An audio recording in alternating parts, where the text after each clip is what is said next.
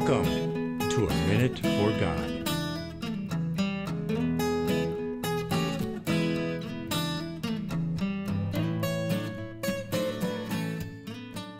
The fourth truth about God's love is that it is personal. For God so loved the world that he gave his only Son. God's love is not merely some abstract concept. It isn't just a philosophy or a theological construct. God's love was made manifest in this world through the person of Jesus Christ, the one and only Son of the Father. Jesus came into this world to reveal to us the love of God in human form. A child was once trying to quote from John chapter 3 verse 16 in the King James version, which says, "His only begotten son."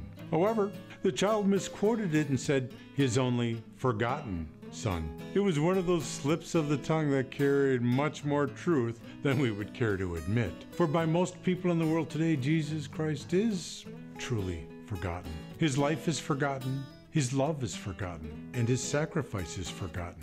So it is our mission, church, as God's ambassadors, to help this messed up world remember who Jesus is. Are you living your life in such a way that you are reminding people of the only forgotten Son of God? God's love is personable on the one hand because it was made manifest through a person, Jesus Christ. However, God's love is also personal because it is bestowed on a person, you. God's love is a personal love.